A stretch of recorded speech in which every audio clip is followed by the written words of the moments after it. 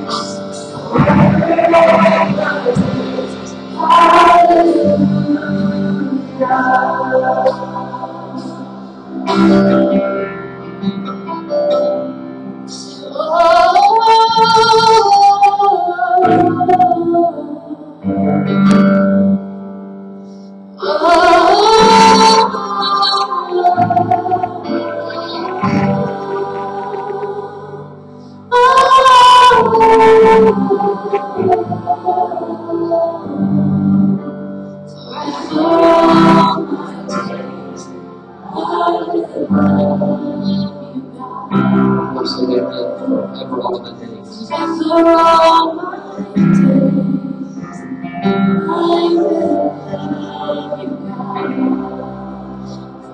For all my days, I will love you, God. Know we serve a big God. A very capable God.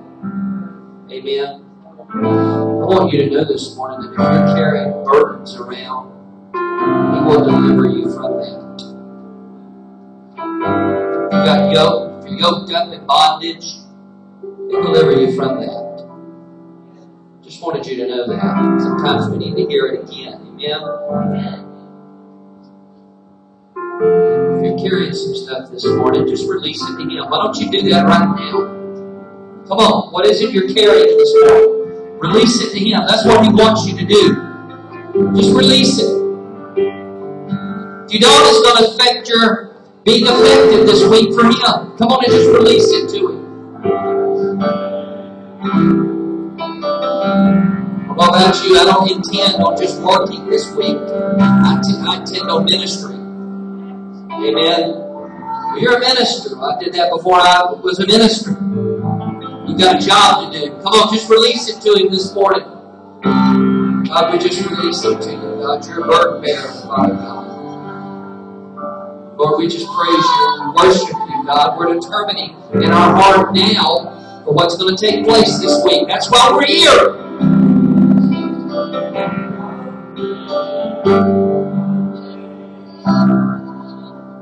God is setting a standard this Sunday morning for what the week is going to be and how it's going to play out. We play a role in that. Amen.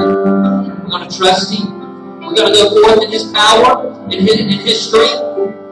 Listen, friend, my strength will be ran out in about 12 hours. And I walk in His strength. Amen.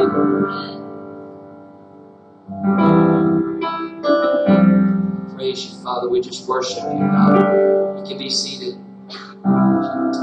Thank you, Lord. Thank you, worship team. Go Pastor.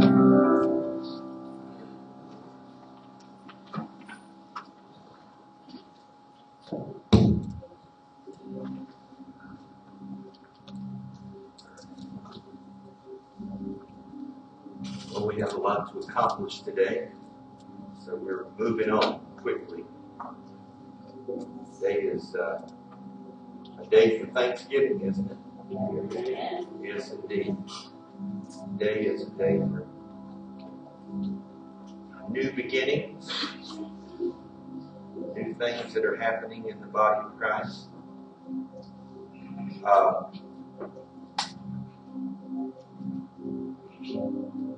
but you have those. I want to thank all of you who took a Thanksgiving basket last week. And uh, we have, uh,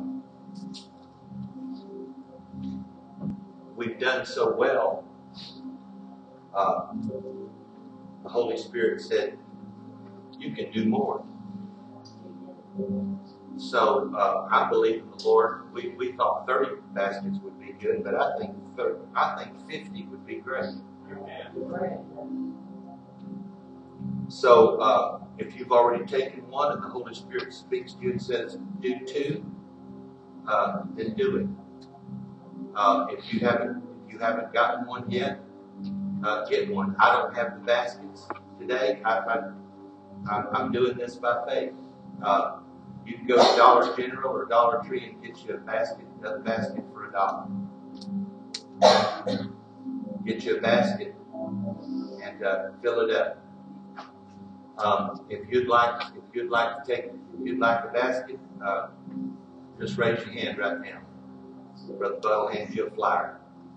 Here's some hands down here. If you've already taken some, like I say, we've got 30 out now. We need to do 50. We can do 50. That means 50 families will have Thanksgiving, Thanksgiving meal. We're going to see to going to be delivering them out in the community. 50 families. Uh, for those of you that don't know the demographics of this area within a 5 to 10 mile radius of this church, is extreme poverty. And I, I'm not using the word extreme lightly. Um, there's also uh, there's there's extreme drug trafficking.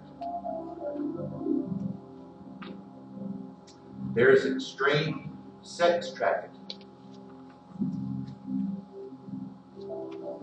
It's hard to fathom a parent that would sell their child's body to pay bills to a landlord, but it's happening right under our nose. It's not some of these missionary guys you see on TV that's talking about some kids from Africa or India. It's right here with American kids. Right here in your neighborhood. You don't have to go looking for sin around the world. It's right here. The question is, what will you and I do about it? That's the question. What will we do? God's called us to make a difference. Jesus was moved with compassion, and the compassion he had moved him to action. He didn't just talk about it, he did something. Okay? So that's the question for you I as believers. Will we do something about it? Good news is, I met with a man Friday. I told him what we were doing. I said, and I need 50 40 to 50 turkeys. He said, consider it done, I'll donate.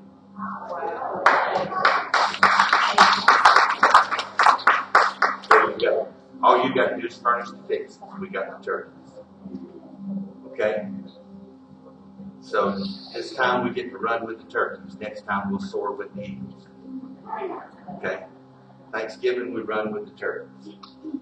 So just make sure we get it done, okay? Praise the Lord. That's good. I'm excited about that. And uh, Monday, the men of the church, we're going to load up on the bus Monday week. We'll be out in the community. When we hit a community, guess what? The kids find out we're there. They start running up and down the streets hollering, The Thanksgiving bus is here. The Thanksgiving bus is here. That's what they say, seriously. Then they just flock. We don't have to go find them. They flock to us. And then we just share. Somebody inevitably asks, Where y'all from? Well, you know that church over there by the rodeo arena on Bishop? That's us. We're right there. Everybody in this area knows where the rodeo arena is, that's why we just They're right here. So we have an opportunity to make a difference. We can share the gospel of Christ. When Jesus had 5,000 men, there's probably women and children, there's probably between 15 and 20,000 there. And he said, the disciples came and said, Lord, the people are hungry. They walked all day they're hungry. Jesus, Jesus didn't say, well, you know what, I'm going to break five loaves, two fish, we'll feed all the people. He said, well, what do you have? He put it back on them. Didn't he? He said, what do you guys have? And they had money. They could have went to town and bought something, but it would take too long. They're outside of town. And he says, tell me what you have. Bring it here. Now this little boy brought a lunch. Bring it here. He blessed it. And then the father began to multiply. See, the father doesn't, our father doesn't have a problem feeding people. Do you know he fed almost two and a half million people in the desert for over 40 years? It took over two million gallons of water a day just for the people to have water to drink in the desert. Wow. And several hundred thousand pounds of manna just rained it down out of heaven. Can you begin to fathom? So when Jesus, it wasn't hard for him to feed. If he could feed two and a half million, he, he could feed 20,000 pretty easy, don't you think? So our Father already knows what we have to need of. So he says to you and I today, be thankful unto him. Not just anybody. Be thankful unto him and bless his name, for the Lord is good. It doesn't, he's not asking us, he's saying, be thankful. That's a position. That God has given you a, a privileged position to be thankful. That's the object of unthankful. A lot of people who don't know how to be thankful. Be thankful to Him. What are you thankful for? What are you thankful for? For whom are you thankful? Why are you thankful? And then the expression, how will you be thankful? Hallelujah. Hallelujah. Little quick word from the Lord, or of Lord. Hallelujah. Make a joyful shout to the Lord, all you lands. Serve See, that's part of Thanksgiving. If you're thankful, you, you serve. If you're selfish, you just want to hoard everything to yourself. But we're so thankful, we just want to go out and spread the thanks unconditionally. Just unconditionally. Hallelujah. Serve the Lord with gladness.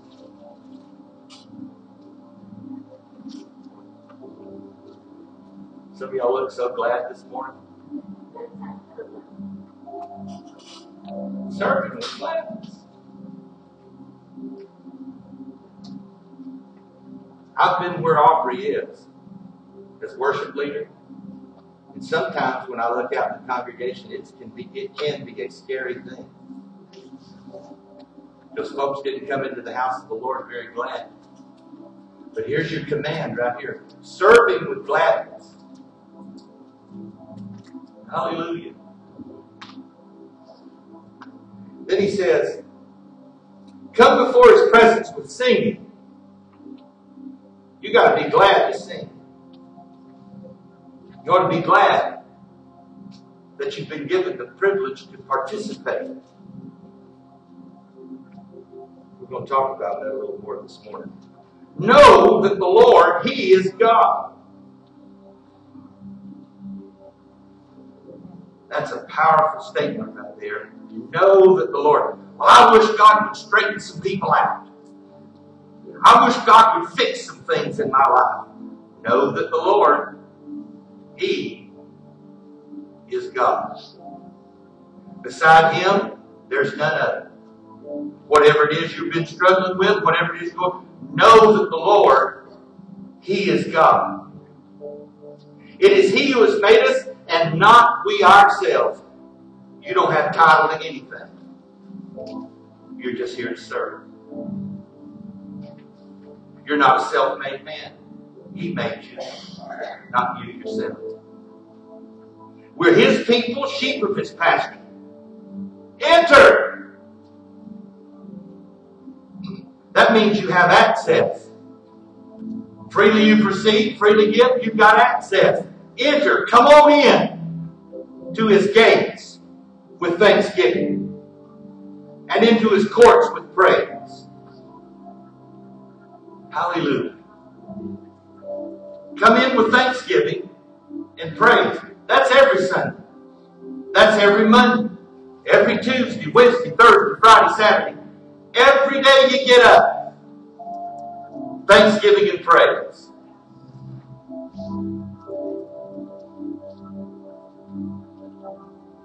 You, you just made a declaration a minute ago as you were singing. I will love you, Lord, my shield. I will. There's some things that your flesh doesn't want you to participate in. You just want to have a pity party for yourself. See how down and out I am.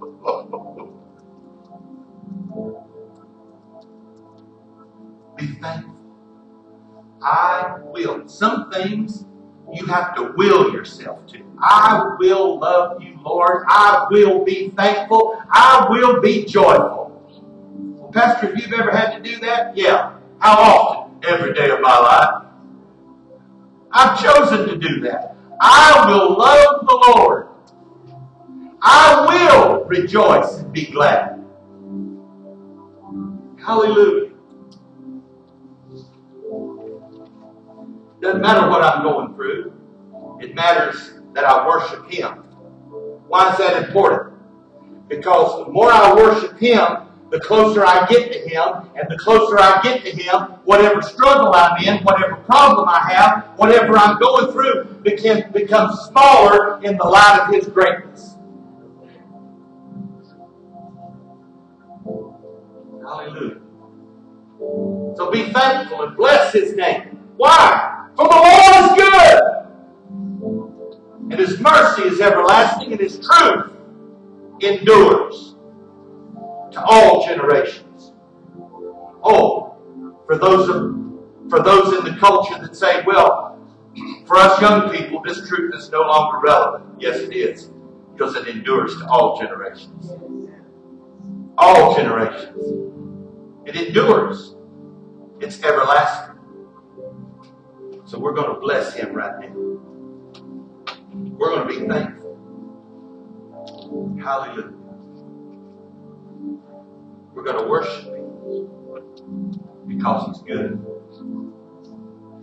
Because he's given us the privilege to serve him in the beauty of holiness. Hallelujah. You have your tithes and offerings ready. We're going to do that right now. 음.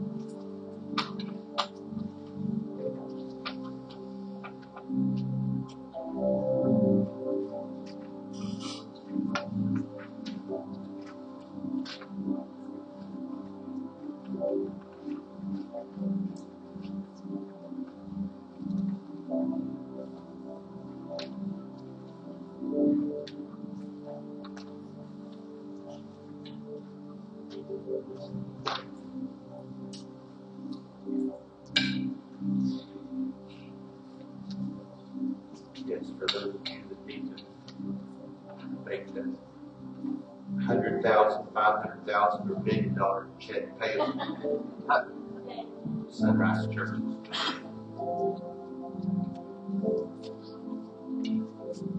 Hallelujah.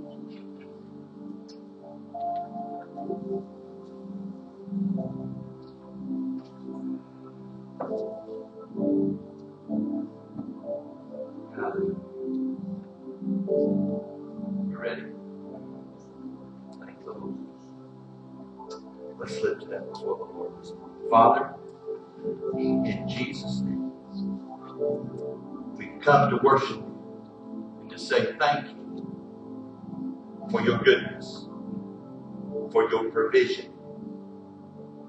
Great is your faithfulness unto us. We, your servants, sheep of your pasture, for you are indeed the good shepherd. You have led us to green pastures, peaceful streams, beside the rivers of still water. We find refuge for our souls. We thank you today, Lord, for your provision. Indeed, we can with assurance declare that you are our Jehovah Jireh.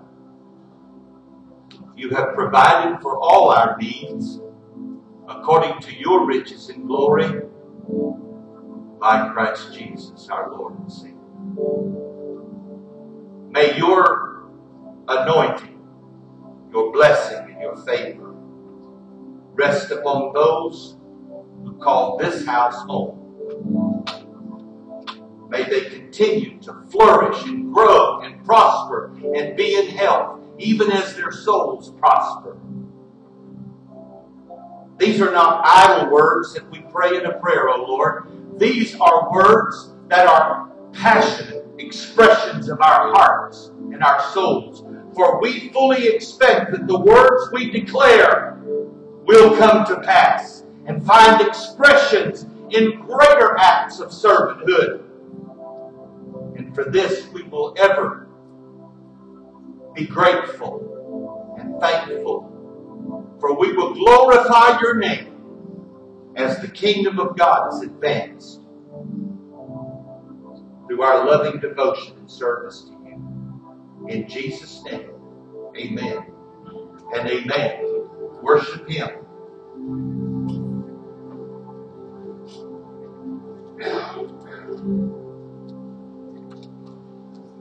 Sing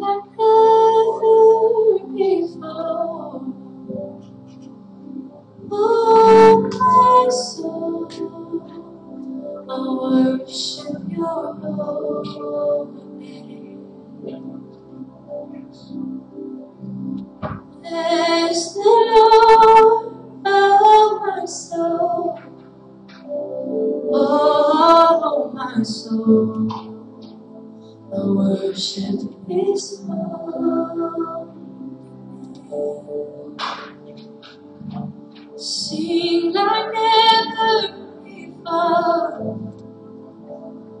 Oh, worship your holy name.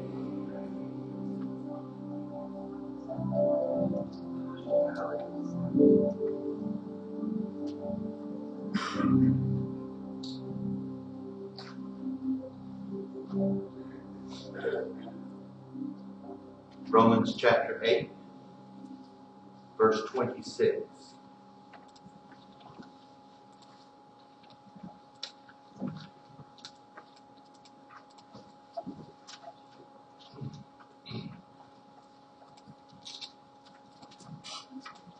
Romans 8, 26.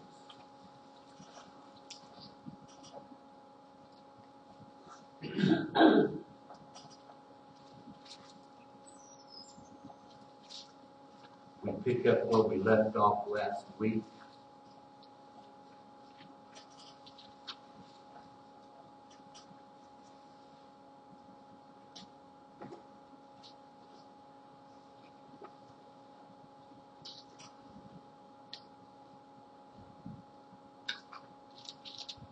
So too the Holy Spirit comes to aid and bear us up in our weakness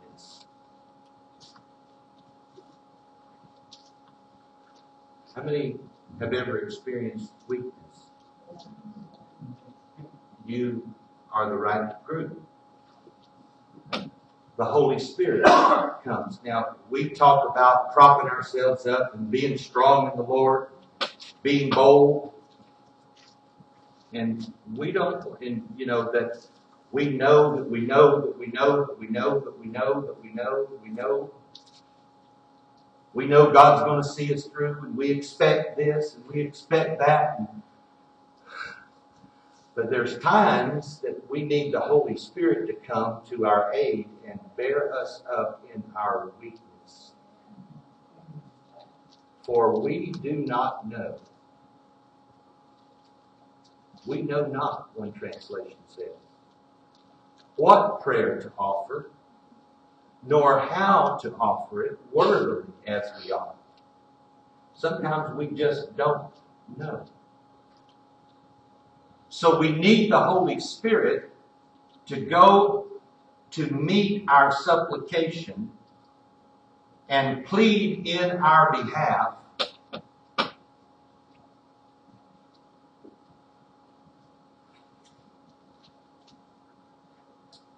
He makes intercession for us with groanings that cannot be uttered.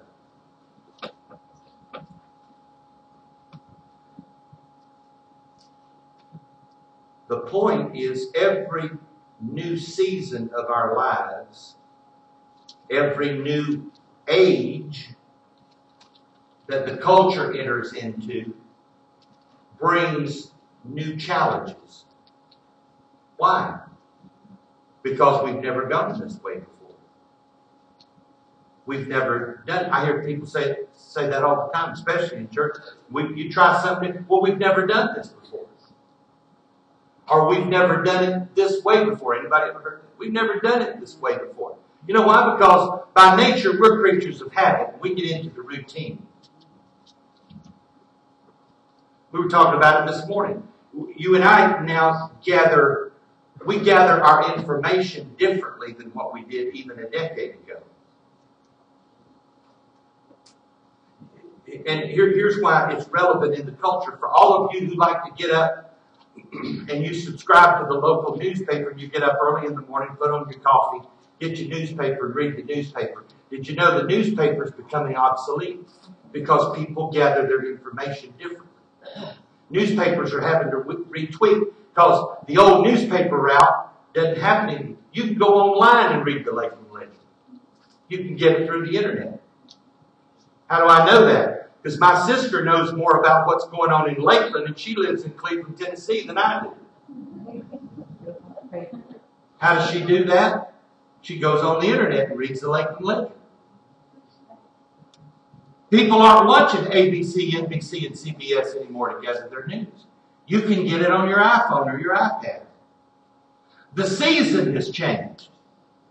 The culture has changed.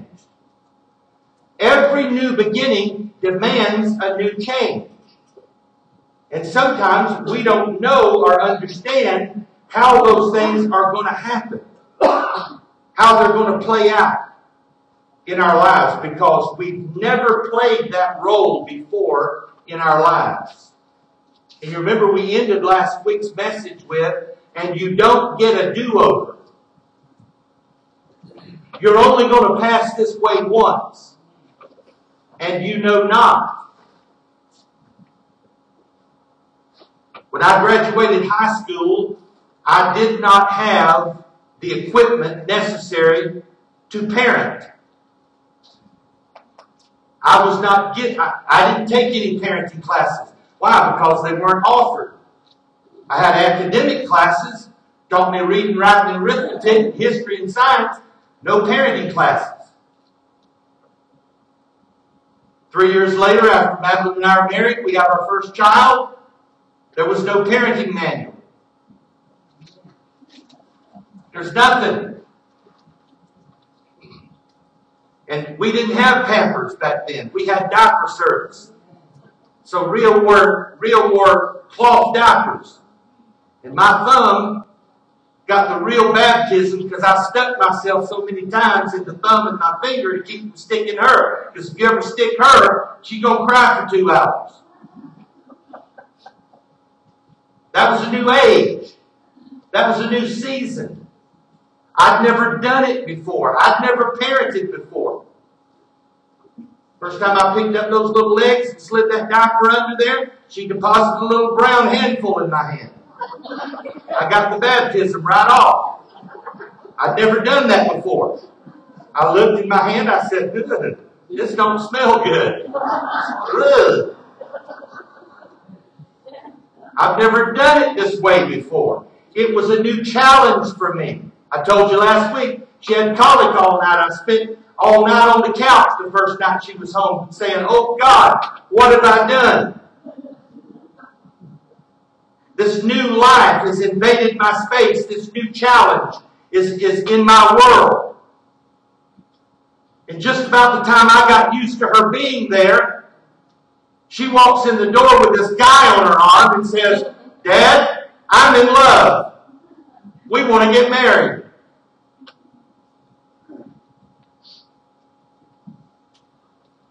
And the next thing I know, I'm walking down the aisle of this church and putting her hand in his hand, and they're married. Now they're gone. Eight weeks later, Rebecca was gone. We got the baptism real quick.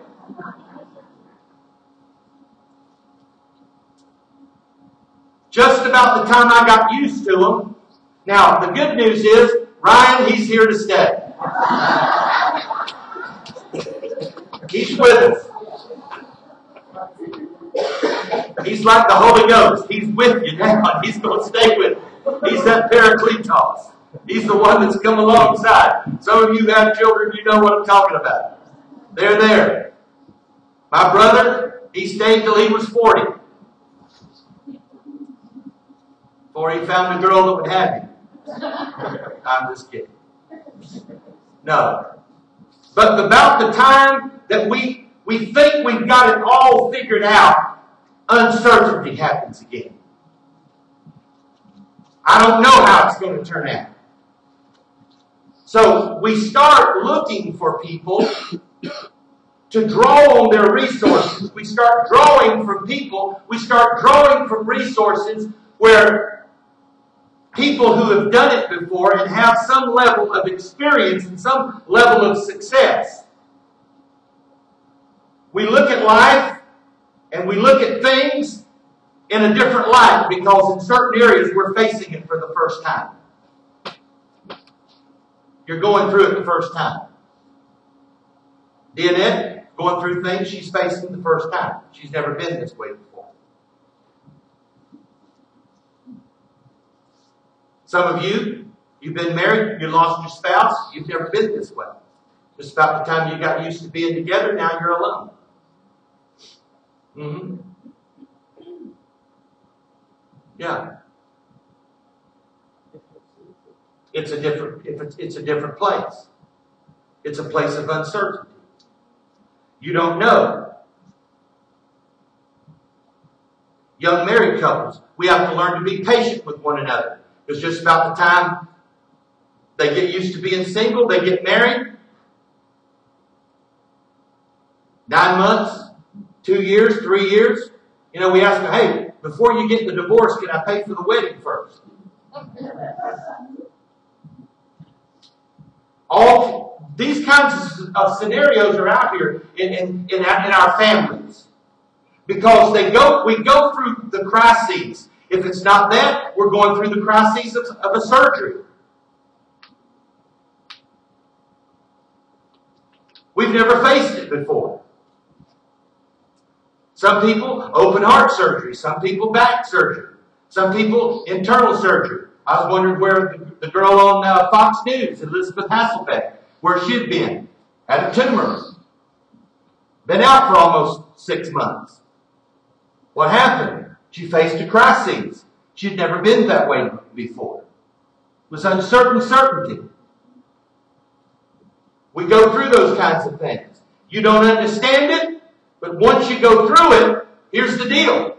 Once you go through it, when you go through it with the Holy Spirit's aid, you can go through it with an assurance and a confidence. You become more proficient at dealing with it. Hello. This message is designed to help us deal with those areas that create struggle and conflict in our life. It doesn't allow us to go through it and do it over again because we're living with the uncertainty. And the only people who think they have a handle on it and who think they have it all together are real young people.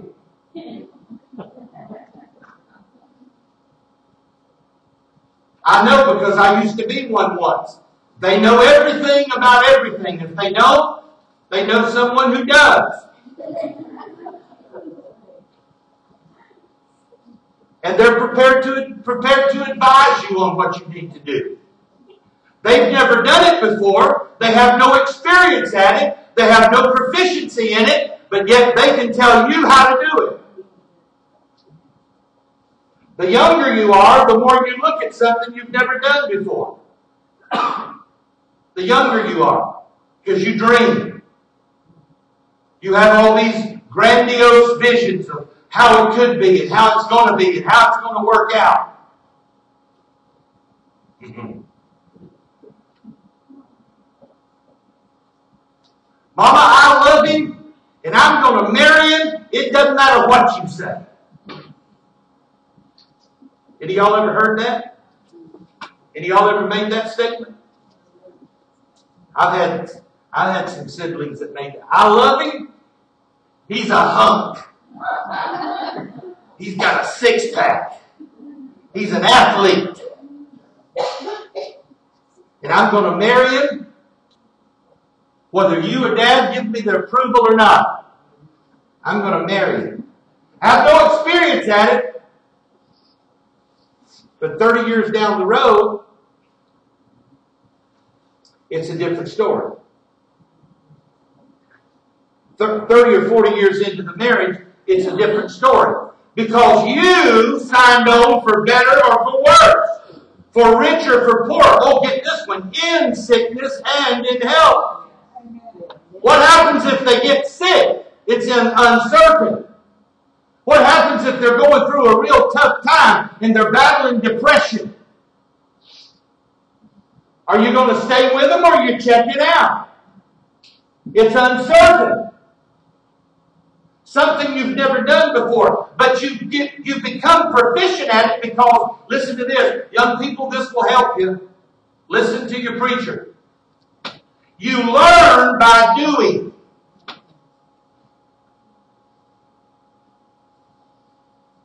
My father always used to tell Dad, I don't know how to do this. He said, figure it out. You ever been told that? Figure it out. I'm pretty proficient on computer now, and I've never been to one computer class. And I've never read the book Computer for Dummies. You know what I did? I figured it out. Because once you figure out the nomenclature of the thing, then you pretty much understand how all of, how it works. And once you figure out how one piece of software works in relationship to the computer, you find out that all of it pretty much works the same. Is anybody getting this? Once you figure out how personalities work and how human nature works and how people works and how they, we can find a way to be thankful for one another. The Holy Spirit will help us in the struggle. It's called our weakness. When we don't know what we ought to do, we don't know how to figure it out. We're struggling with it. Uh-huh. The only professional people in life are people who haven't done something before. Because once you've done it, you find out that everything around you is not as certain as you thought it would be. And you learn to respect life because sometimes life has a backdraft to it. It'll catch you. You know, we use statements like this. If you keep on going down that road, life's going to bite you in the butt. It's the backdraft of life. It's going to catch up with you. Those of you that are watching the service by internet this morning, let me hasten to tell you, I'm not going to preach to the choir here, but the backdraft of life, when you fail to associate yourself with fellow believers and be encouraged in your faith and built up in your faith, that's something you can't do via the internet. You have to be in the assembly of believers. And the command of Scripture is, forsake not the assembling of yourselves together, because the day of the Lord is coming. He said, I'm coming as a thief in the night. You, oh, here's a perfect, we know not.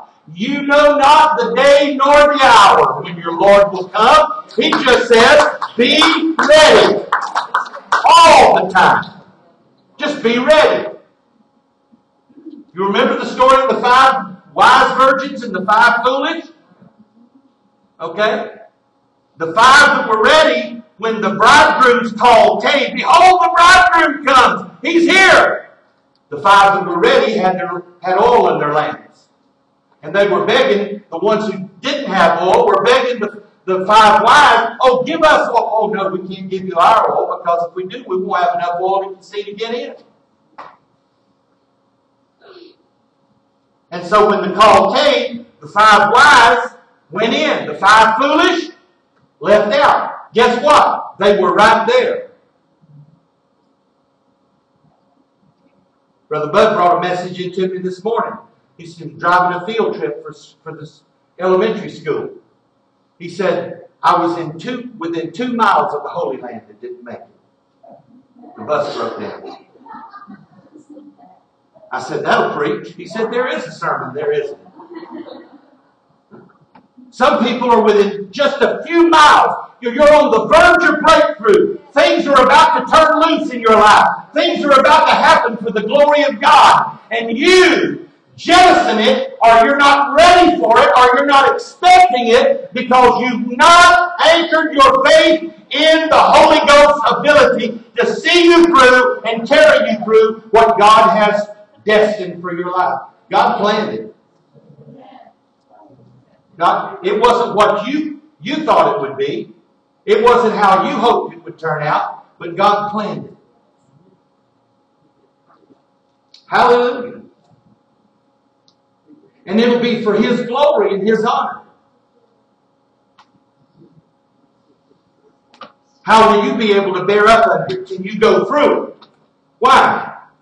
Because the longer you live, instead of becoming more secure in life, and instead of, you, you begin to recognize that things in your life can change in a flash.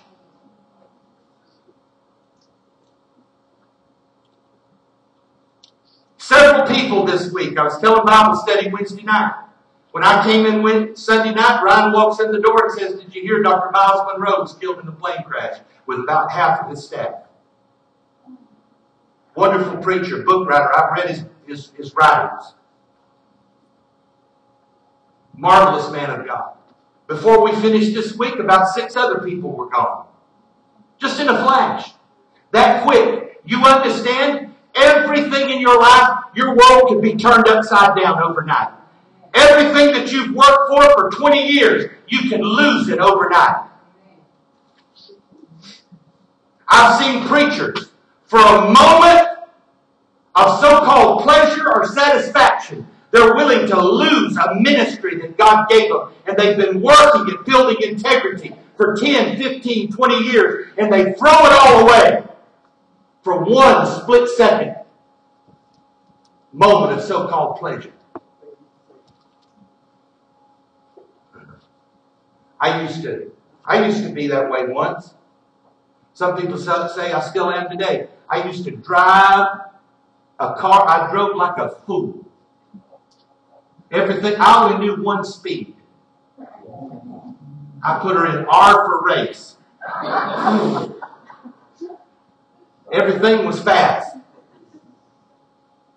Me and Highway 92, back and two from Lakeland to Auburndale, I could cut it in less than five minutes. down the road. Why? Because I had no concept of fear. Me and my brother-in-law, all we knew was fast cars. He had a Mach 1. I had a Volkswagen. the old 1300. Paid $1,800 for it, brand new off the showroom floor. But I could pop the front wheels off the pavement about six inches. Oh, yeah. That's all we knew was fast. He had the 440s. He had the 280Zs. We'd ride around together. Some of y'all remember that? The GTOs, the Chevy Chevelles, the ones with the 396, the Hemis, the Hurst speed shifters. We drove like crazy. Why? Because we had no concept of fear. One night we're headed out towards Saddle Creek. We get to the bridge in the swampy area. Guy pulls up beside us in the Cadillac. He, he lunges forward a few times. I said, Ron, show him what we got. He downshifted. Away we went. The guy lost control of his car, spun around, and we saw his headlights fade down in the swamp as he went down in the ditch. We were on our way over to Auburndale for a recording session. As we were walking in the studio, we saw the Cadillac drive by with the mud. It was a mess.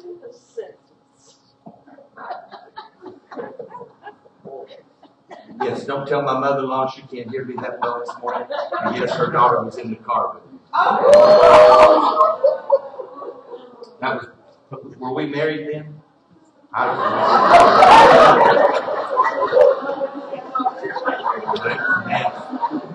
It was a mess. Why? Because I was young. I knew no concept of fear. Oh, I don't know who I'm preaching to this morning, but some of you young people, y'all say, well, the preacher never talks to us. I'm talking to you this morning, as well as the adults. Because there's some things that you need to understand about how uncertain life is. The cemetery is not just full of old people. Sunday morning, Monday morning when we got up, we found out the little girl that attended this school 21 years old, has a six weeks old, six week old baby. Kayla Bryant lost her life on Highway 33 Sunday night. 21 years old. They go quick. It can happen. It's uncertain. We don't like it. It's gut wrenching. But the scripture tells us that when life creates pressure on us, we're to enter into the worship of the Lord.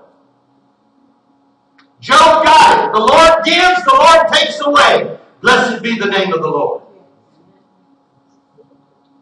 I'm not going to falsely accuse God. I'm going to worship Him.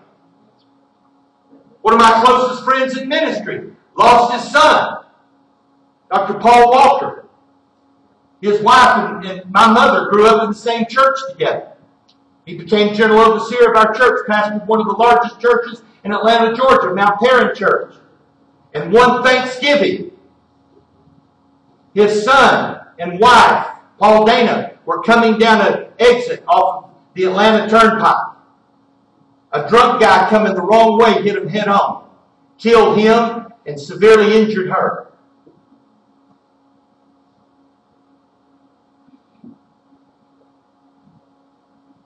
A son that was the love of his life God had called him into ministry. He was going to follow in his father's footsteps.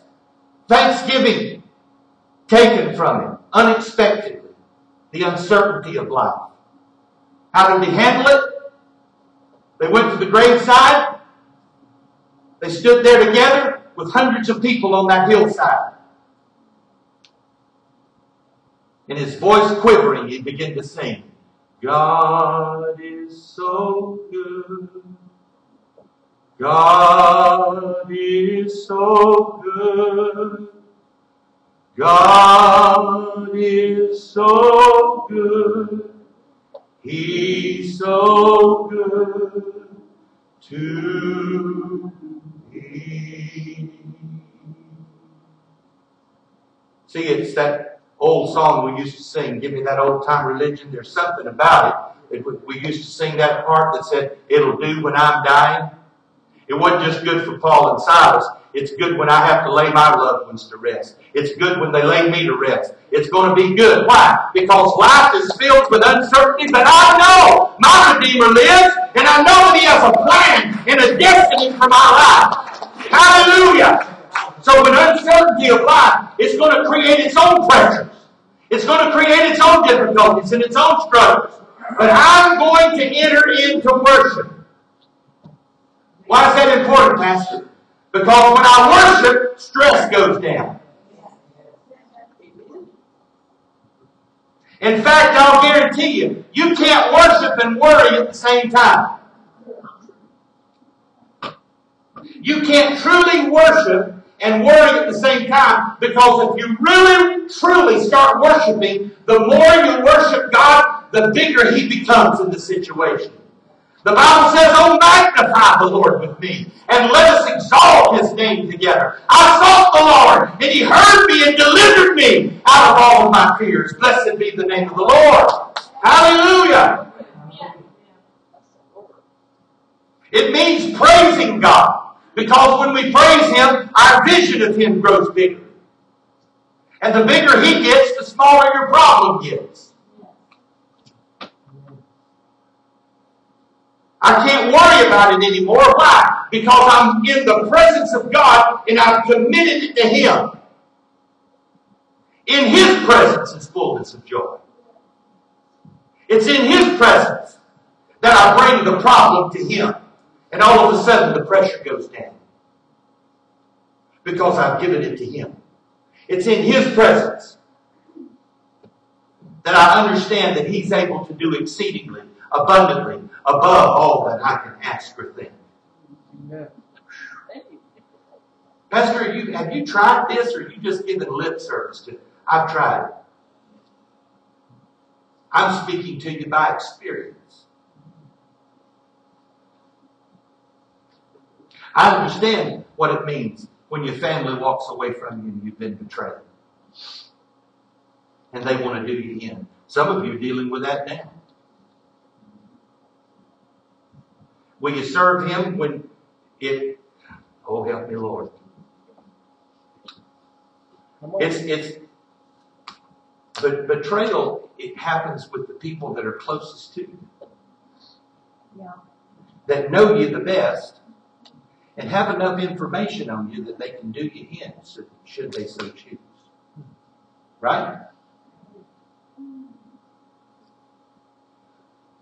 Jesus had one such disciple. All 12 didn't have a halo and angel wings. There was one among them that betrayed him.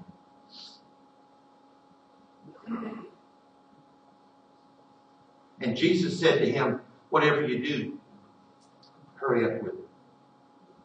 Do it quick. One of you will betray me.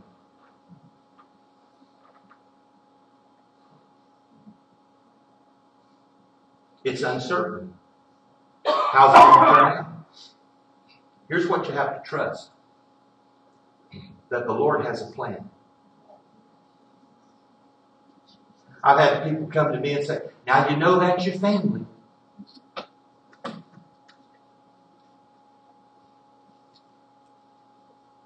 You know what I had to deal with? Was I going to put my family ahead of the will of God? Will you put your family ahead of the will of God?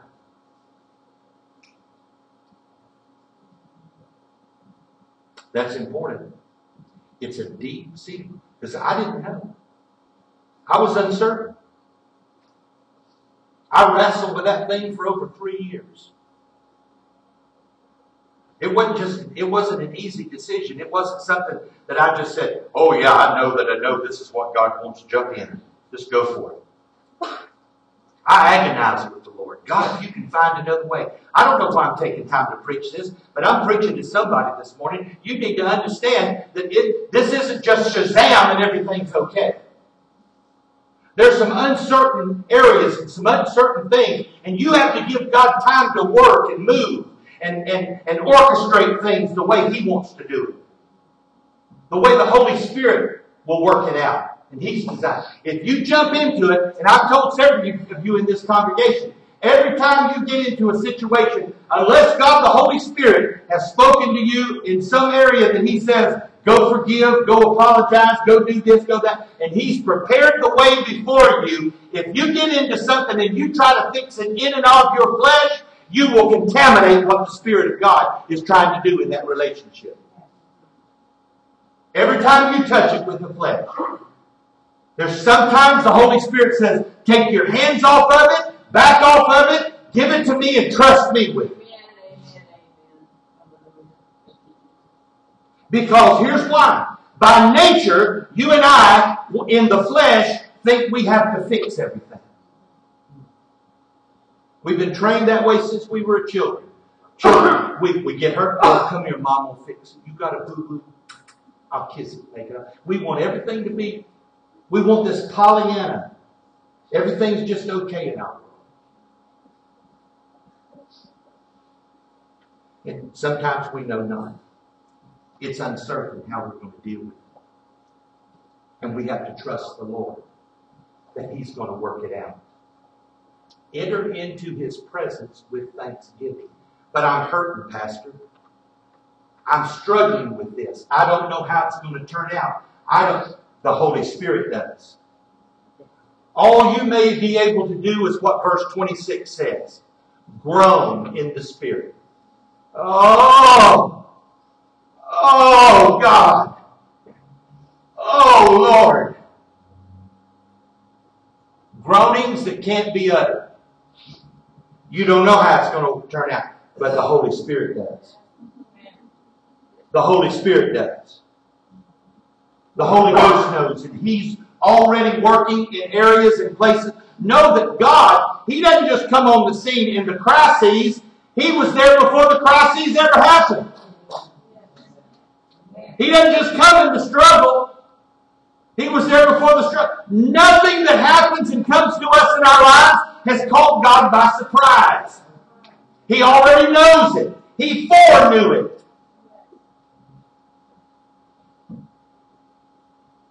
Well, why did he allow this to happen? We know not. Why? Because his ways are past finding out. His ways are higher than yours and mine. We only see things many times through the fleshly lens instead of the lens of the Holy Spirit. And we need to allow the Holy Spirit to give us and position us into a place. God, open up our spiritual vision so we can see what you're trying to what you're trying to do. We can hear what you're trying to say. We don't take the time to wait on the Lord and get His take on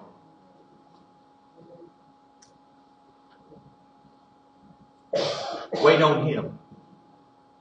It's uncertain. You don't know how it's going to turn out. Wait, I say, on the Lord. For they that wait on the Lord will renew their strength. If I need my strength renewed, that must mean I, I'm in a place of weakness. When I'm weak, I'm vulnerable. When I'm vulnerable, I have no strength. I'm spent emotionally, spiritually, physically. Lord, I'm just tired of carrying this thing. Is there anyone out there that understands my frailty? Is there anyone that understands my human condition? Let, let me give you a little revelation here. Y'all ready? And I'll close. Listen to this. When you got saved, your spirit's saved. Your soul is saved. Your body's not. It's yet to be redeemed. Thank God for grace. Because we still keep messing it up in our flesh, don't we? That's why Paul could say, I want to do good, but I got this problem. This flesh thing hangs on me. My soul inside is saying, you, you know what God requires. Be obedient because to obey is better than sacrifice. Do what God requires. But the good I want to do, I don't do.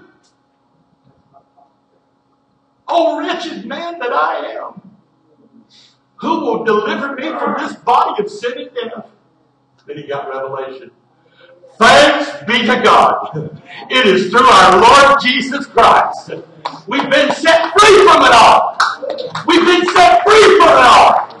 Hallelujah. What does that mean, Pastor? God's factored in you, your, your humanity because He created it. He's factored in. What does that mean? When you mess it up, God knows.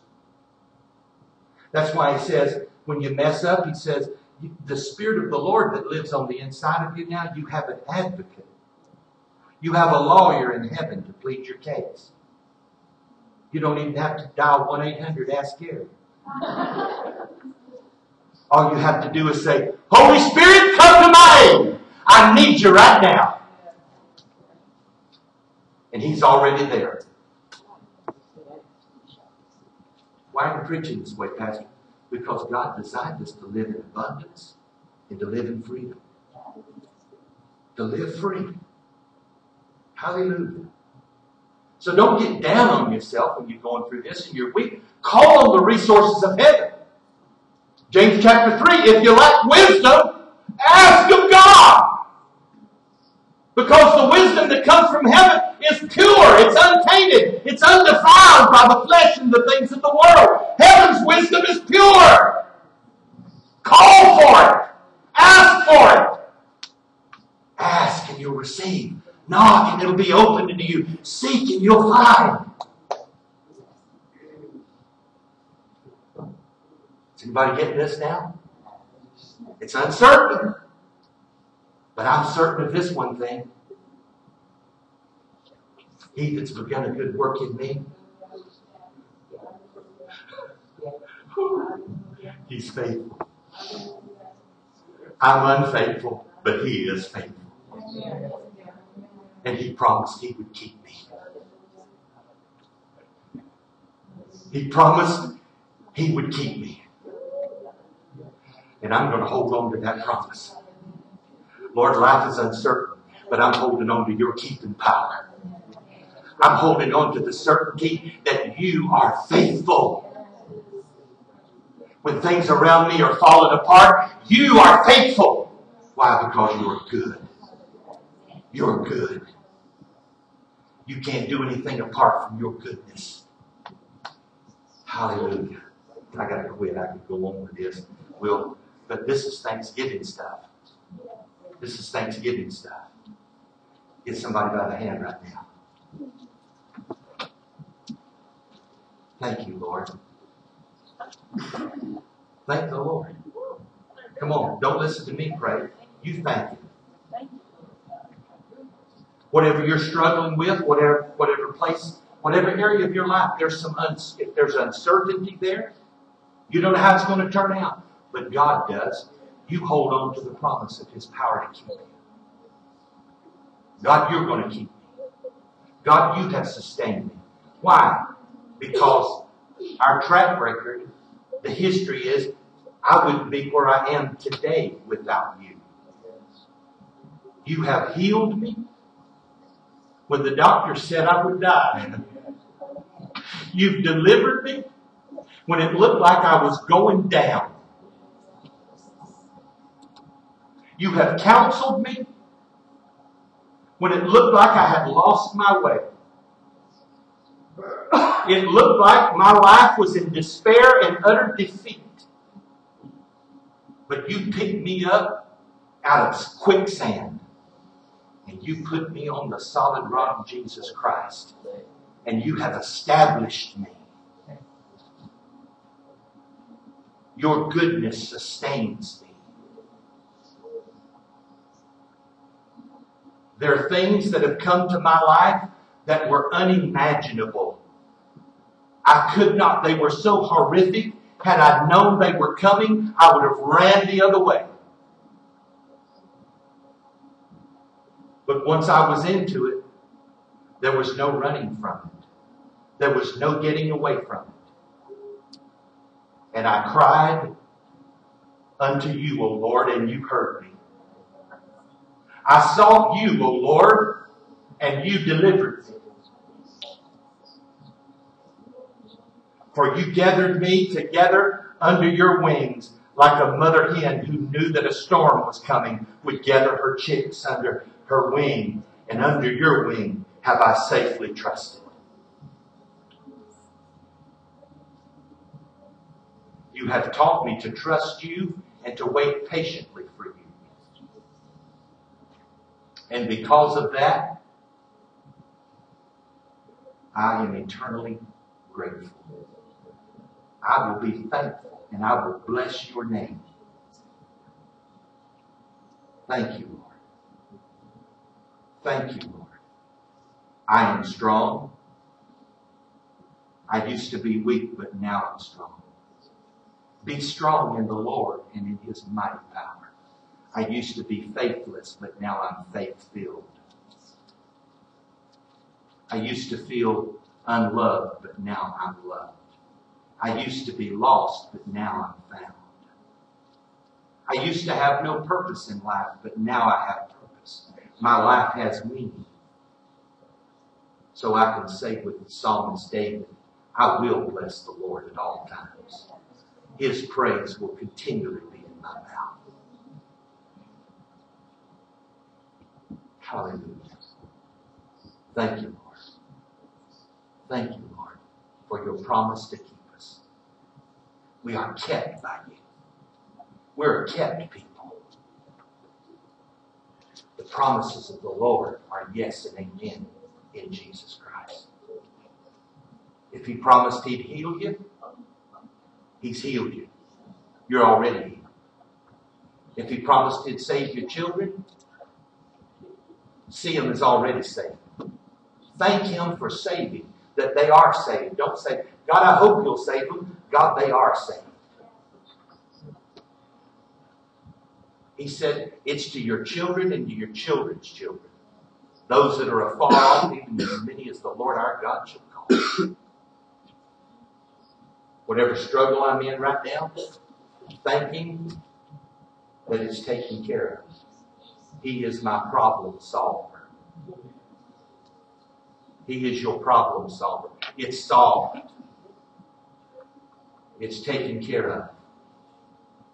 For there is strength in the name of the Lord. Amen, Amen. and amen. Hallelujah. Hallelujah.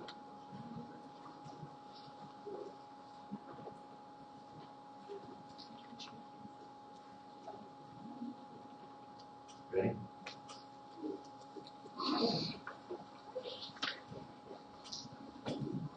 I think we've got, have we, how long? Pastor Steve said we got a long time. Y'all should have put, give me some stopping.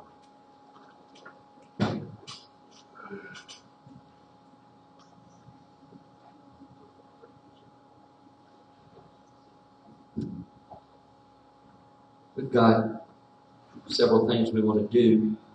First thing we're going to do is acknowledge our ETS graduates, and then our we'll, we'll welcome members, and then also that we're going to recognize those that were baptized a few weeks back. Amen.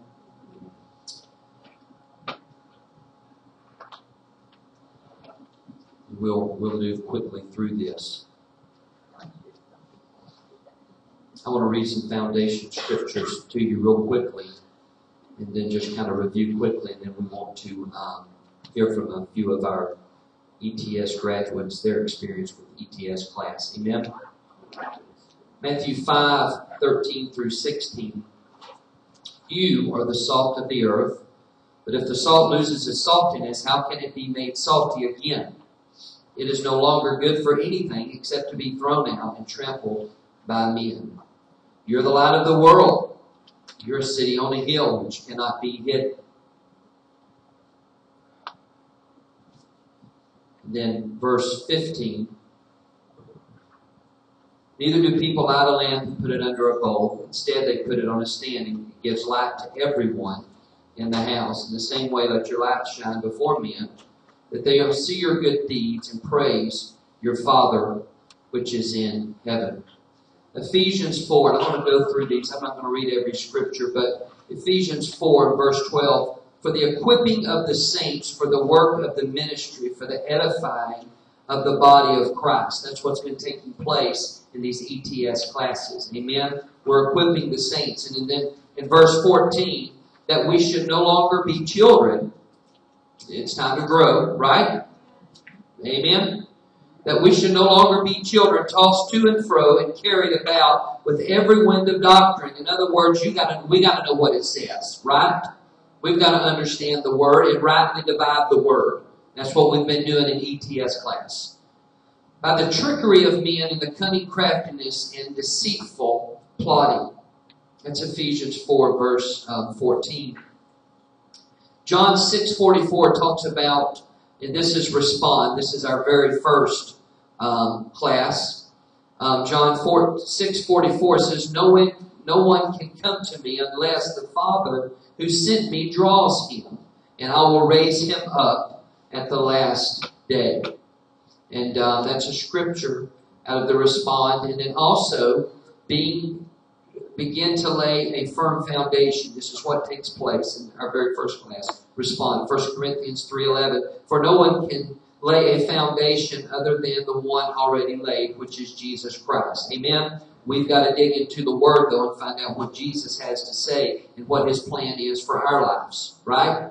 Not pastors' lives, but our lives. What we're called to do. Amen? We're all called, right? And then restore um, in Ephesians 4 22 through 24, becoming a new man in our souls and bodies as we are in our spirits. Jesus is working from the inside out, right?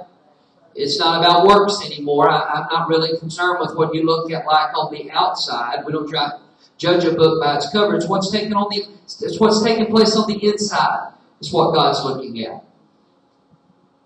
that you put off concerning your former conduct. My God, this is the preacher. The old man which grows corrupt according to the deceitful lust, and be renewed in the spirit of your mind. And that you put on the new man which was created according to God in true righteousness and holiness. Those are some things we cover in restore. And then in release, 1 Corinthians 12, 4 through 6. We're guided and released into our purpose, our gifting. Amen? We all have a purpose and we've all been gifted, right? Yes. Making sure we're on the same page. 1 Corinthians 12, 4 through 6. These are diversities of gifts, but the same Spirit. We're not operating in another spirit, we're operating under the same Spirit. These are differences of ministries. There are differences of ministries, but the same Lord. And there are diversities of activities, but it is all the same God who works in all and all. So the first class is Respond. The second one, uh, which is a foundational series. Second class is Restore One, getting um, past our past, right? God's wanting to take us out of our past so that we can function in our future. Then restore to, which is the mind of Christ. We've got to put on the mind of Christ if we're going to be effective. We've got past our past, and now we're going to start walking in the Spirit, putting on the mind of Christ. Amen? And then release, experiencing God, knowing and doing God's will. The outcome of equipping the saints, the outcomes of equipping the saints. And I want to run through these real quickly.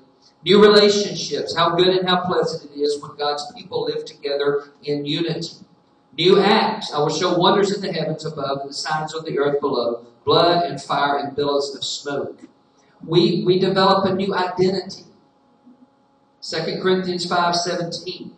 This is all tied to ETS. Therefore, if anyone is in Christ, he's a new creature. The old is gone and the new is here. Everybody say the new is here. The new. There should be something new taking place in our lives. If it's still the old, something's wrong with the relationship. Yeah. New weapons. Put on the full armor of God. Those are things we have learned so that you can take a stand against the enemy's schemes. Amen? So many Christians, and, and we're finding this out at ETS, we're Christians, but we're not putting on the armor. So therefore, we're really not effective in what we do because all the enemy has to do is go, and we just we're just not back right where we were. So we got to put on the full armor of God. Amen. There's new sounds in the last day. God says, "I'll pour out my spirit. Your sons and daughters will prophesy. Your young men will see visions."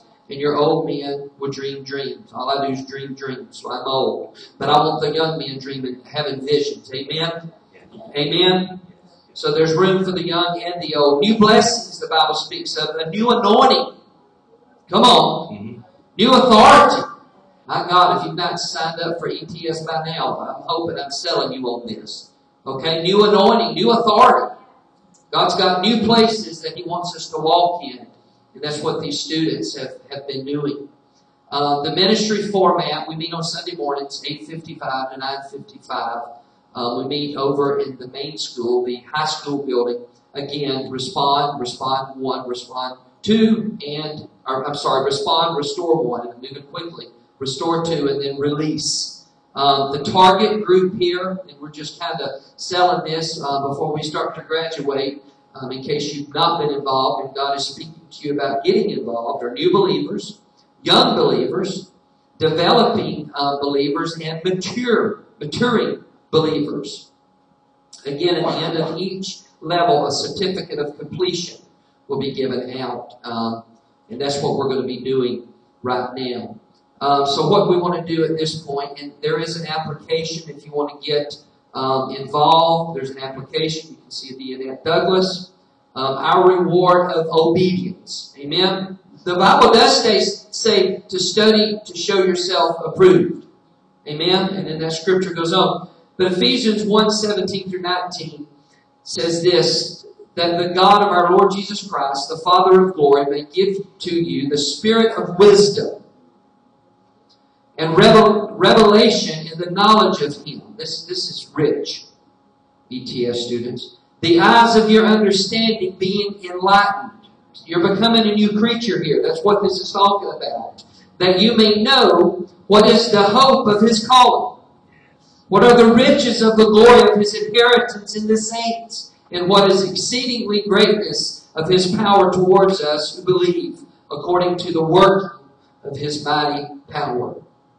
So that's what's taking place. That's what's taking place in the hearts and lives of many of our ETS students. We are so proud of them for their dedication. Their det- you got to have determination when you get into this. Dedication is one thing, but then you've got to slide on into the determination. And it's not really getting up a little bit early. I mean, come on, we can get up early for anything. Come on, we should be getting up for God early. That should just be a given. But just being determined that, you know what, I'm going to grow. When nobody else is growing, I'm going to grow. I'm going to mature, and I want to become more like Him.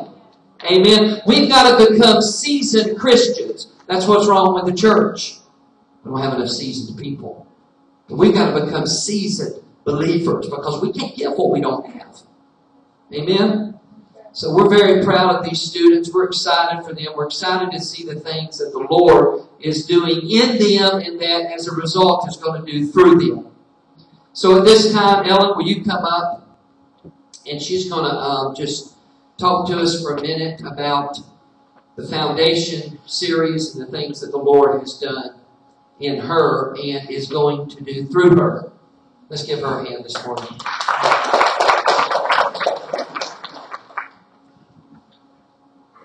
um, excuses. We all have them. Um, I've been here when the classes started. I had a job situation that kept me from coming to class. Uh, so what did God do? He provided a way that I could work one job and support my family. So then the call came out for the next set of classes to start. Okay, I'm gonna go. My daughter happens to be home with me. We're going to Sunday, we're gonna go to ETS. Mom, the baby. She wakes me up in the middle of the night twice. And I have two babies to get up. I can't get up. I'll take one of the times that she gets up and feed her. I'll get Aiden ready if you'll get the baby ready. Mom, I can't do that. I'm just too tired. I'll need Dunkin' Donuts. No problem. but you realize if I take you to Dunkin' Donuts, you're going to have to wake up even earlier. I'll do it. She was in class, wasn't she? God provided. He, uh, I mean, um, Mariella woke up only one time during the night. She developed and would only wake up one time.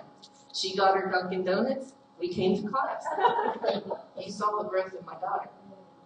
It came from that class.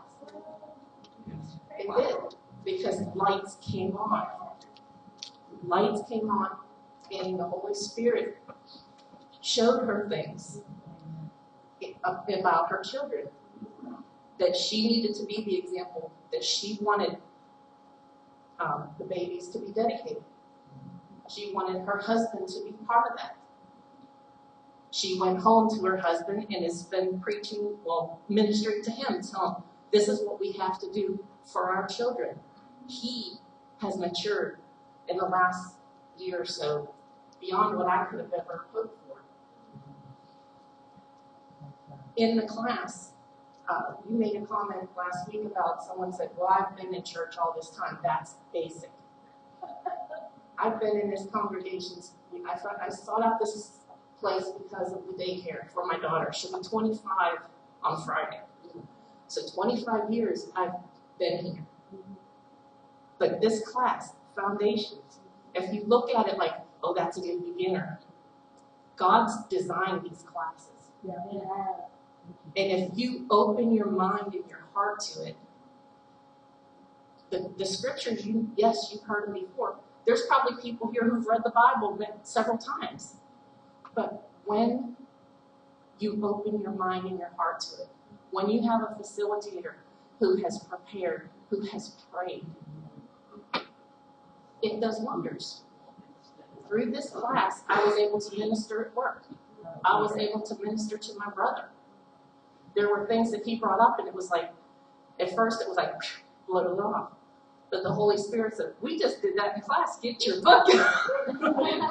and I got my scriptures and went to him and sat with him and read it to him and reread it to him till he understood it. And it put more foundation in my brother. This isn't just a new beginner's class. This is God ordained. Open your hearts to it and allow Him to expand and use you. Because the like I can speak for my class. My facilitator was writing. And it was it ministered to me, to my immediate family, and to the people that I uh, work with. So I know there's excuses. Not the pill is really comfortable, so is the comforter. But I challenge you to get out. Amen. Thank you, Ellen. So when there's a will, That's awesome. It's impacted many, many other lives just through her commitment. And then they'll impact many more lives through your commitment. Then they'll impact many, many. Amen. So praise God for you and your commitment, Ellen. Praise the Lord. Um, Beta said, Mr. Mr. Green, who's coming up? You, come on. Mr. Okay, come on up. I'm sorry. Ellen, I'm sorry. I saw two Ellens here. So. But Devin, you can stand beside her if you want to, since it's your mom. But we're going to let her talk. Come on this side of her. Amen. My name's Ellen too. That's why I probably didn't do that. um, this class uh, was uh, a godsend for me. Um, I work with uh, with the Polk County School Board, and I work in a cafeteria, and I work with children, high school children that know everything. and uh, I have a couple of uh, co-workers um, that are a challenge um, every day. uh, I've been there 17 years, um, and through this class, and uh, and a very good facilitator. Thank you very much. Um, I've been able to uh, to look at things a lot differently in my workplace. Um, and though it's still an ongoing process, as um, as my uh, my walk with the Lord is, uh, but I feel like without this class, I would be a lot far, farther behind than I am. It's helped me tremendously, and I want to thank the congregation for their help. It, uh, it's a real family here, and you feel it. Um, I got involved with this church through my children, whom I started in the school. Um, the Lord brought me here. Um, I know He did, and uh, I didn't really get here until their their high school years. I wish I would have known earlier. and I would have had them here a lot sooner. Um, but everyone here is, is a blessing, and I thank God every day. Thank you. Thank you, Ellen. Doris Collier, representative of Mind of Christ. And Ellen was um, representing the Bait of Satan. That was a class that Ellen was in. She probably doesn't need a mic to go. And she'll need a watch. I know I'm talking, but up in front of people is not my forte, but just bear with me. Because I wasn't approached a little bit ago about doing this, but I want to say ditto to Ellen and Ellen. Because without these two classes, going into the mind of Christ would be overwhelming. But when I took Bait of Satan, it brought so much to light that before I took that, I had learned to forgive and a lot of stuff in my life go. But if you still, well, let me say, in the mind of Christ, Brother T.W. Hunt teaches the class through a movie. And it teaches you uh, to write, to pray, meditate on the Lord, and if you're having anything that's troubling you, any roadblock in your life, to write them down, pray about it, and then God will show you how, to handle the situation, or will handle it for you. Uh, so, I uh, learned to apply this to a lot in my life. And trying to teach my grandchildren a lot of this, which that has become a trial. But I know God will handle the situation because when they have a grandmother, which they do have, and a grand grandmother, God will not let them get lost. But I would like to say one thing this week happened in my life that not only me, but family members couldn't understand. We lost a very dear, dear friend. We got a call Tuesday morning that at 1.30, Jim Patchen passed away. We didn't understand that. But when I went to his service Friday, you're talking about a celebration of life.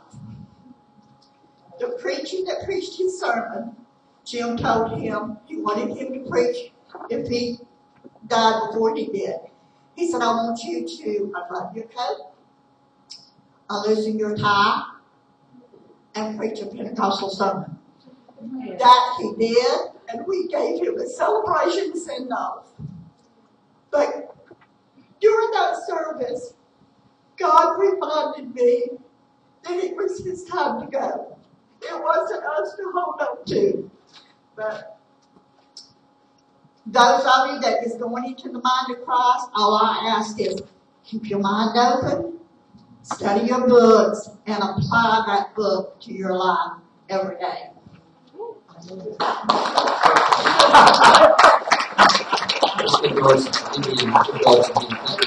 you. She's my aunt, so quick on her. Um, and then last but not least, a representative of experiencing God, Aubrey Burton. Okay, let's give Aubrey an.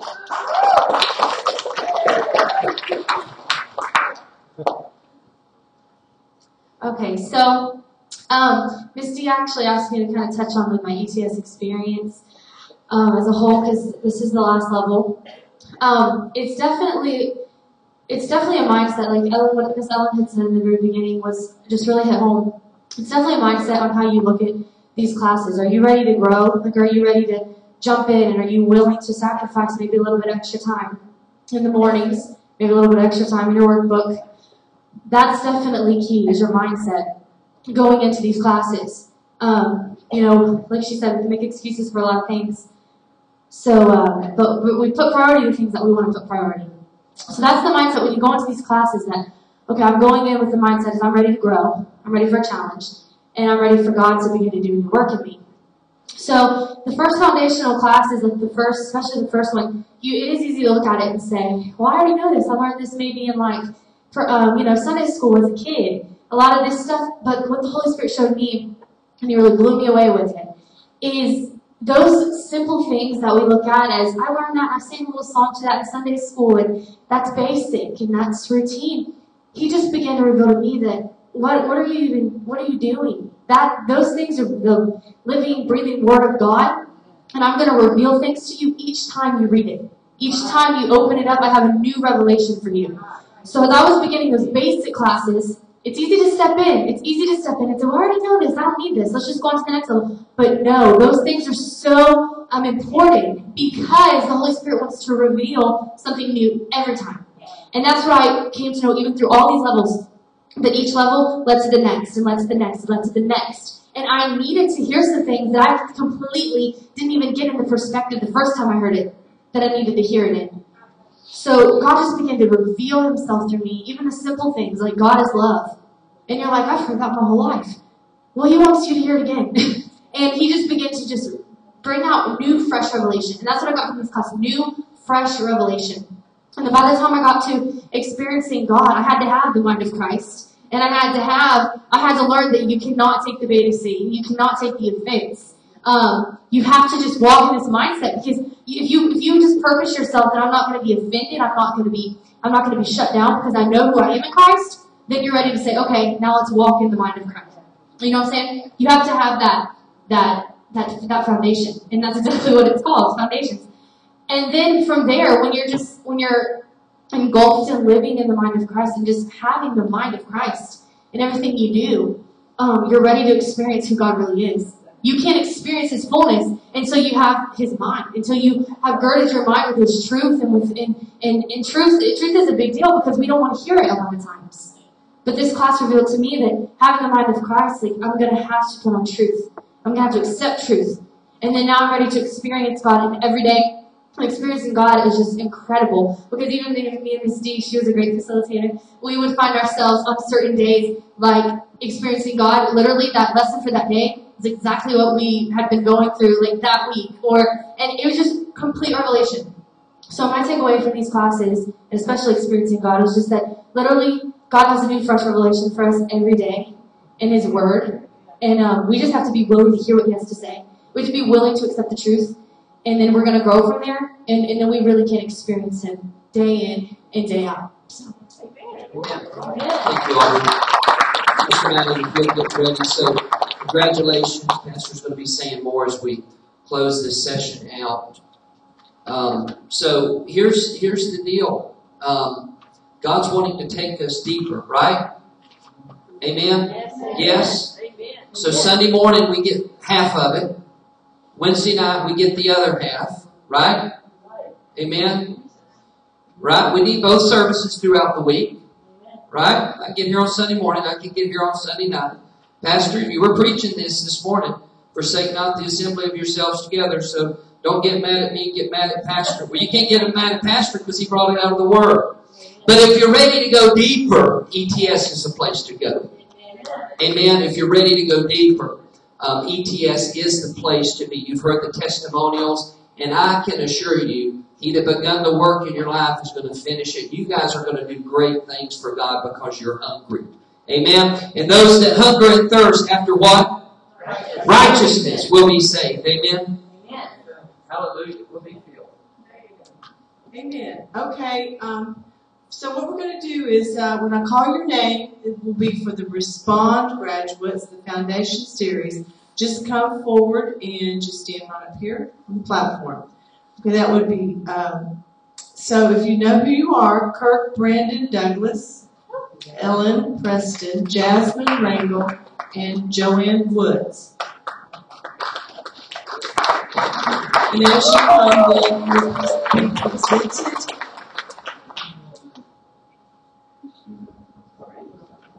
Okay, now I'm going to give one at a time. So um, Brandon Douglas has his, Ellen Preston, Jasmine Wrangle, and Joanne Woods.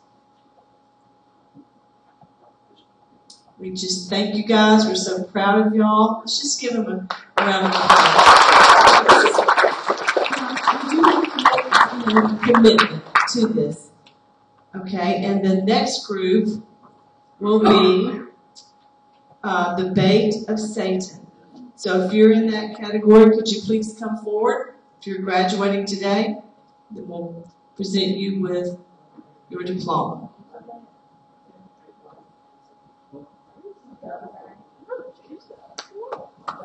Okay. Doug is going to take pictures of everybody being presented those one at a time. So the first one is Allie Burton.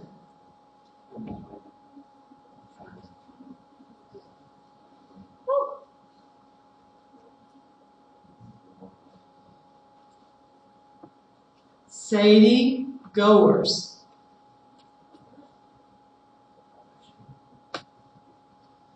E. Devin Green.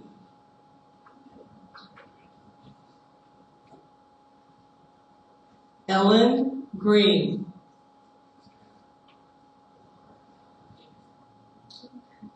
David Quackenboss.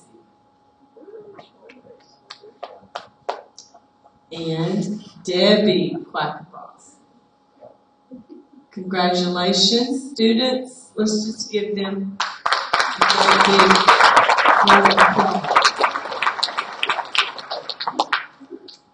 Okay, then. The um, Mind of Christ class, would, uh, if you'll come forward, if you're graduating, was Doris, uh, Dana, Ly- Lydia, and Sheila Weathers. Sheila, I don't think she's here. So Doris Collier, Dana is not here, Lydia Davis, I'm sorry, Lydia Travis, I'm gonna say that. Lydia Travis, and then Sheila Weathers, and she's not here.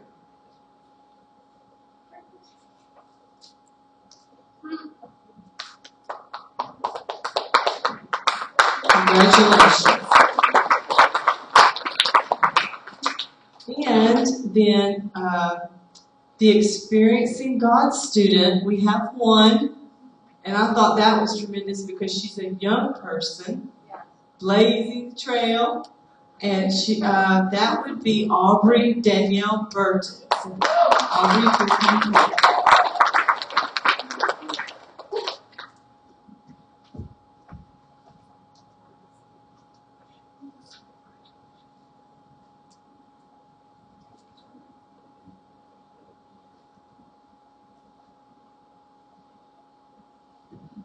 the of this um, experiencing God's class is that it is the fourth and final level of our ETS classes. It takes um, approximately a year, about a year and a half, to go through all four levels. As the facilitators and students indicated, determination is the key. I'll tell you why when we started the group that's Aubrey's in and finishing the fourth level, Aubrey was one of 16 students that began the foundations class. She is the only one to finish. It's not that we make it hard, it's the determination. One out of 16 gets to level four. I think we have enough students up here now that can attest that not only are you growing, but it takes determination to finish. It's not a wind sprint, it's a marathon. But the fact that you are growing and that you are now being used of God.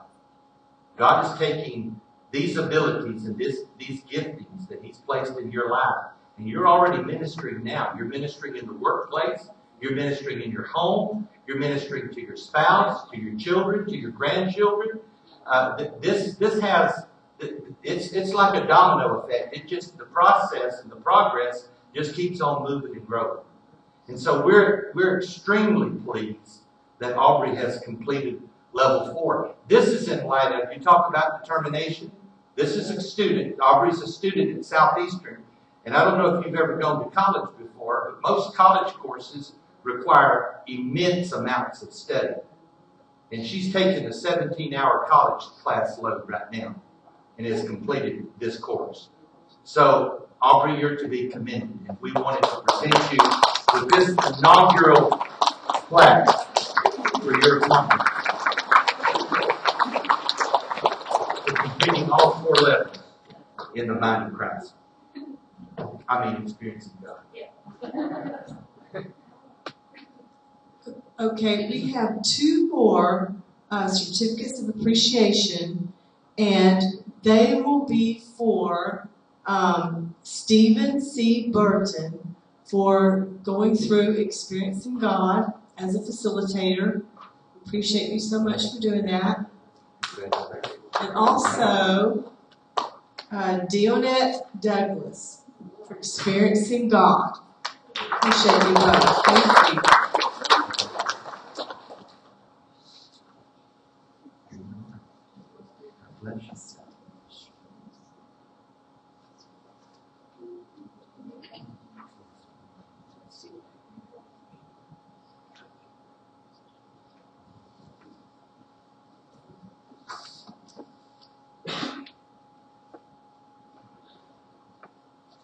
as has already been ably said, and I, I won't belabor the point, other than to tell all of our facilitators my heartfelt thanks and gratitude uh, for not only you being prepared to facilitate the class, but that you've allowed the Holy Spirit to really just captivate your hearts and that you've expressed and poured into your students with the passion and the anointing of the Holy Spirit that's really just ignited the fire of Pentecost in, in each one of them. And they are they are living testimonies, living witnesses of your effectiveness in being used by God. So I commend you for that, all of you who have been facilitators, because that is the essence of what ETS is all about. Ephesians 4 tells us this work that we're doing is for the equipping of the saints. If the church fails to equip the saints, the work of ministry will not be effective and it will not go forth. This is for the work of ministry. And so each one of you are now released not only to the next level of ministry, but also into your calling, into, into your gifting. We're already, I can tell you, I told these students last week, we're already in the developmental phase of the next part of ETS, which is going to be called releasing the saints. And in that, folks will be, they'll be released into their giftings and their callings. And many of them who are already involved in a specific area of, of ministry, be it uh, visitation to nursing homes or shut-ins or hospital visitation or prison ministry. Um, our offices, state offices in our denomination are now recognizing lay ministers with a credentialing that they will actually credential lay ministers and set them forth. So we've been in touch with our state offices and told them about our, our school of ministry and they are prepared to help us assist our folks in being credentialed that they can go into hospitals and prisons and nursing homes with the proper uh, ordinations. And uh, we thank God for that. So facilitators, and uh, I want to thank, especially thank Dionette for her uh, labor of love, untiring hours that she puts into. This isn't a fly-by-night program, okay? And it's really more than a program, I should say, ministry, because of the uh, of the way it's structured. The Holy Spirit has ordained it, and it just it's, it has a beautiful flow to it, and the anointing and approval of God upon it and uh, and DNet makes sure that everything's graded, everybody's signed up properly, and each level is tracked. We've got a file on each student, so everybody knows who's completed what in the proper manner. And nobody graduates until the requirements are met. And when the requirements are met, then they graduate. So I like that. Amen. That's good. DNet, thank you for your your labors in, in making this happen. All right. Pastor, one thing too before we move on to our last two certificates. Um, I want to say congratulations, Devin. Um, and I've spoken with Pastor Randy about this. In January, Devin will be starting Church of God Ministry School as a minister in the Church of God's. And we're very, very proud of Devin. God's going to use him in a mighty way. And I, I think we're very proud of him. I think these other four that I'm getting ready to mention know and understand this, but I just want to put them on notice. Um, we're very proud again of Jasmine and Brandon. Allie and Sadie, we have a compassion um, center that has started at the school. Pastor Randy will be telling you more about that. But God is getting ready to use them. Um, you will be the four leaders that will help launch this, so get ready, and it's not optional. Um, God is raising you up, so just get ready for this next generation. We're not just doing this. This is for the young and the old. They're not the church of tomorrow. They're the church of today. But God is going to use you for as a foundation. So just get ready to be open to what God does in you to reach a world for Jesus Christ. Amen? So let's give our younger students a hand as well. Uh, God is preparing to launch you.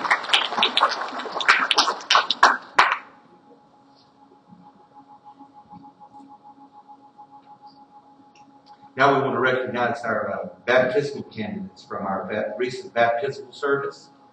Um, those who are who are here with us, uh, but I'll even call those that were baptized that day. Danielle Hernandez, and uh, I think she is not with us at the moment. Um, Anthony Kelly, Brother Kelly, he's not here today.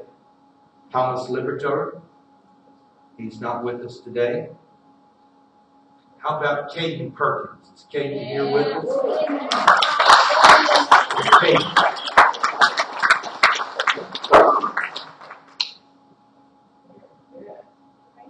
Congratulations, young man, on following the Lord in water baptism. Take that home and frame. Stand over here among us. So, brother, we're filming this. Is Travis with us today? Travis Elliott? Travis, okay. Caden's the only one that made it. I guess we dumped them all so good. We held them under. One more group. These are folks who just, you, you want to know how do I become part of this church family? And several folks talked about this is a family. I want to thank you for those those wonderful uh, words because I know they were heartfelt. Wow, Ellen Preston, wow, I should have let you preach this morning. You, you had a word from the Lord. Um, but how do I unite with this church family? We give, we have two times a year, we have a five week course that folks are able to come and take the course. At the end of the course, they take a short uh, quiz, an exam, and then they make a determination if they want to unite with this local fellowship after having completed that course. Uh, so we have some candidates today that we are welcoming in to our fellowship as uh, members of this body. So let's have Brother Donovan Richards.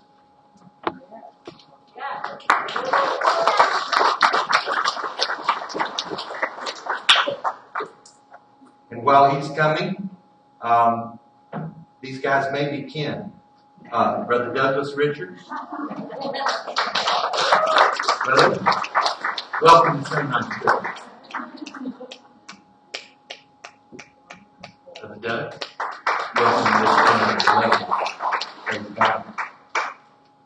And I don't know if this lady is, is kin to this group either. Michelle Richards. Looks like this is a family deal. The whole Richards group. What? We have a couple more here. Welcome. You. So we, we're welcoming the Richards family. And here's, here's a young lady that um, has we, we've come to love and appreciate, along with all these that are part of this family. Casita Walters. And Kane. Brother Kane's with her. He came, he came and, and endured all five weeks. He did. Praise the Lord. Kane, thank you for assisting. And let's see who else we have here. Sister Joanne Woods, she's already up here. Sister Joanne Woods. Praise the Lord. Welcome to our family. We're delighted you're part of us. Amen. And uh, already a part of us, but I just did them certificates so that they know. Pastor Steve, he's taking the course. He didn't know the reason he's taking the course is going to help me king teach the next time. Sister Susan Burton, all right? And we didn't award a certificate to this gentleman. He took the course last year when we welcomed in uh, about 20 new, new folks to this fellowship. But Brother Charles E. Rayner Jr., we want a certificate him. Come on, brother.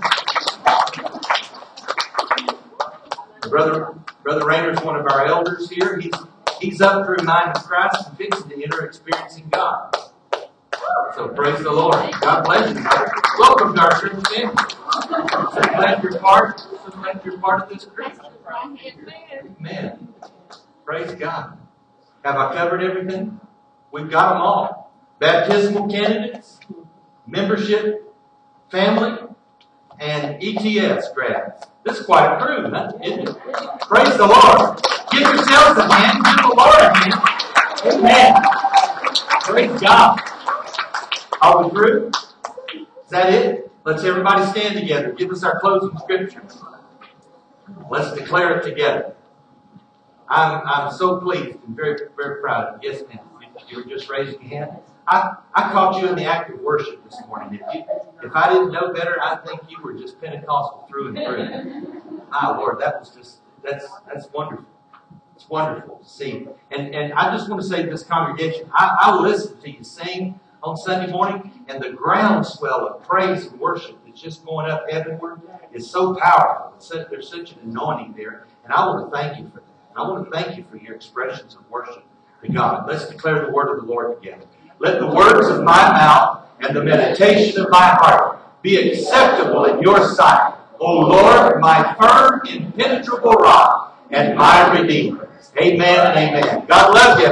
We'll see you Wednesday night.